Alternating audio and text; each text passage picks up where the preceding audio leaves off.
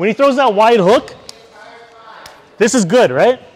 But this is quite difficult, especially when you got someone who's throwing like like a, a boxer's uh, straight, you know, pop pop returning, right? So there's different ways you could train this one motion here rather than throwing it throwing it off of a straight cross or, or a round hook, like just instead of looking at it a boxing uh, perspective.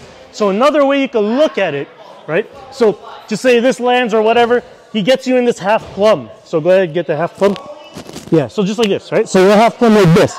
So we could work up this situation here where we're still looking at the same gunting movement, but we're working off of it. Instead of a punch, we're looking at it from a half plum here. So we're here in this position here. What's gonna happen here is my hands here, my hands here.